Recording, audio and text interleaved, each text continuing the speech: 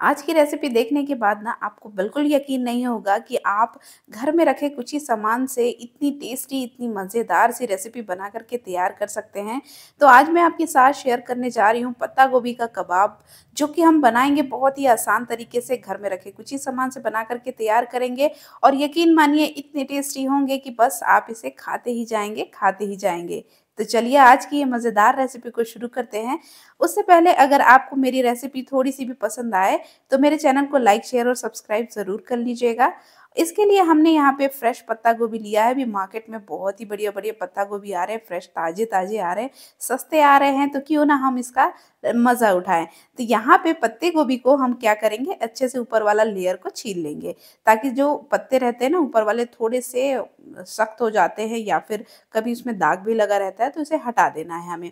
अब क्या करेंगे, इसे अच्छे से धोने के बाद इसे हम कट कर लेंगे।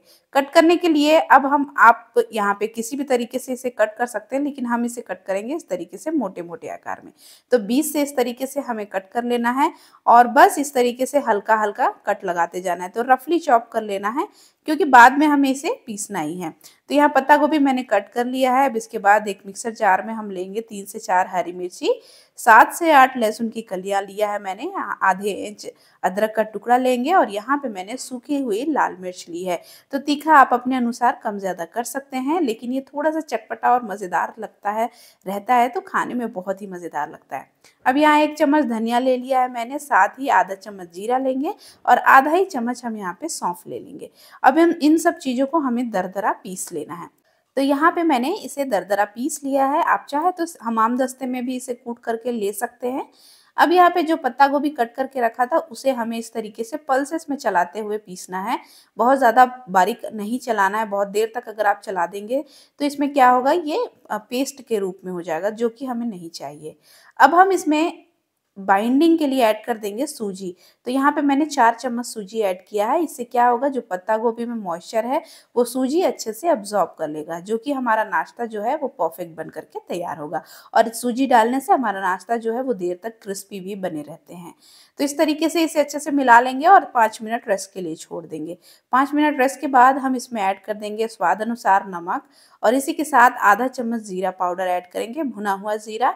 साथ ही एक चौथाई चम्मच हल्दी पाउडर ऐड करेंगे, इसी के साथ एक चौथाई चम्मच काली मिर्चों का पाउडर। अब यहाँ पे मैंने एक चम्मच के करीब लगभग ले लिया है अमचूर पाउडर। आप यहाँ पे चाट मसाला का भी इस्तेमाल कर सकते हैं, चाहे तो गरम मसाला भी ऐड किया जा सकता है। अब यहाँ पे दो मीडियम साइज़ के प्याज मैंने लंबे लच्छों में कट कर लिया है और ढेर सारा हम यहाँ पे धनिया ऐड करेंगे। अब इसे बाइंडिंग देने के लिए मैं यहाँ पे बेसन का इस्तेमाल कर रही हूँ। आप चाहे तो चावल के आटे का भी इस्तेमाल कर सकते हैं।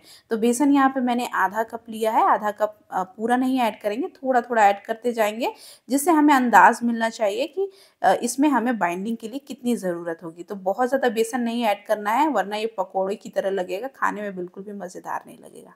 तो यहाँ पे आधा कप में लिया था मैंने, जिसमें दो टेबल स्पून के करीब बच किया है बेसन, उसे हम ऐड नहीं करेंगे। तो यहाँ पे एक चुटकी मैंने बेकिंग सोडा भी ऐड किया है। ये पूरी तरीके से ऑप्शनल है, आप चाहे तो इसे स्किप कर सकते हैं। तो यहाँ पे बेसन की क्वांटिटी हमें बहुत कम रखनी है, बहुत ज़्यादा नहीं रखनी है, क्योंकि इसमें हमें पत्ता गोभी का टेस्ट चाहिए, बेसन का नहीं। तो इस तरीके से अब हाथों में थोड़ा सा पानी लगा लेंगे, जिससे कि हमारा नाश्ता जो है, जब हम इसे फ्राई करेंगे तो क्या होगा कि ऊपर की लेयर जो है, वो देर तक सीखेगी और ये अंदर से अच्छे से पक जाएँगे। तो इसकी हम टिकिया शेप बना लेंगे इस तरीके से। तो आप अपने मन मुताबिक कोई भी शेप बना सकते हैं और मैं इसे सेलो फ्राई कर रही हूँ। अगर आप चाहें तो इसे डीप फ्राई भी कर सकते हैं, खाने में वो भी बढ़िया लगेंगे। अब इसके बाद इसे हमें उलटते पलटते हुए मीडियम फ्लेम पे गोल्डन ब्राउन होने तक सेक लेना है। तो ध्यान रहे, हमने इसे थोड़ा सा मोटा रखा है। इस वजह से हमें इसे मीडियम फ्लेम पे फ्राई करना है, हाई फ्लेम पे नहीं, वरना ऊपर की लेयर जो है वो अच्छे से क्रिस्पी हो जाएगी, अंदर से कच्चे ही रह जाएँगे। तो मीडियम फ्लेम पे उलटते पलटते हुए हमें इसे बढ़िया से गोल्डन कलर आने तक फ्राई कर लेना है। तो ये देखिए, मैंने इसे फ्राई कर लिया। आप इसका कलर देख सकते हैं, टेक्सचर देख सकते हैं।